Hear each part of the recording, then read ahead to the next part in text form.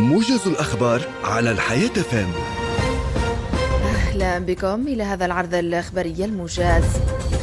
أعلن رئيس الهيئة العليا المستقلة للانتخابات فاروق بوعسكر خلال ندوة صحفية عقدت اليوم الأحد بقصر المؤتمرات بالعاصمة أن الدور الثاني للانتخابات التشريعية المبكرة سيجرى في التاسع والعشرين من جانفي الجاري على أن تنطلق الحملة الانتخابية غدا الاثنين.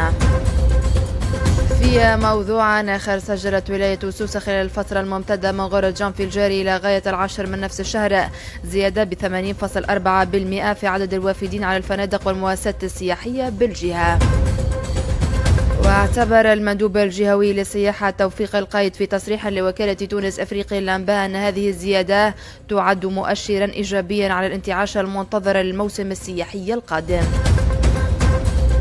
في أخبار العالم وصل الممثل الخاص الأمين العام للأمم المتحدة في ليبيا عبد الله باتيلي الأحد إلى مدينة سرتا وسط البلاد لرعاية اجتماعات اللجنة العسكرية المشتركة. وعلى صفحتها الرسمية بالفيسبوك ذكرت بعثة الأمم المتحدة للدعم في ليبيا عبر بيان لها أن اجتماعات اللجنة العسكرية سيحضرها مراقب وقف إطلاق النار الليبيين ونظرائهم الدوليين دون تقديم تفاصيل أخرى. وختاما نشد المدير العام لمنظمة الصحة العالمية بجهود الحكومة الصينية للاستجابة لجائحة كوفيد 19 وذلك في مكالمة هاتفية مع مسؤول صحي صيني بارز. وذكرت لجنة الصحة الوطنية أن مديرها تبادل الآراء أمس السبت مع المدير العام لمنظمة الصحة العالمية بشأن استجابة الصين الحالية للجائحة.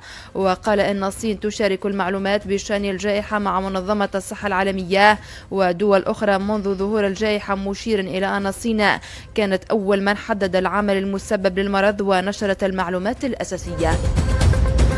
نهاية هذا العرض الإخباري الموجز. قدمته لكم نجلاء خليفة هاني. شكرا على حسن المتابعة والاهتمام وفي أمان الله.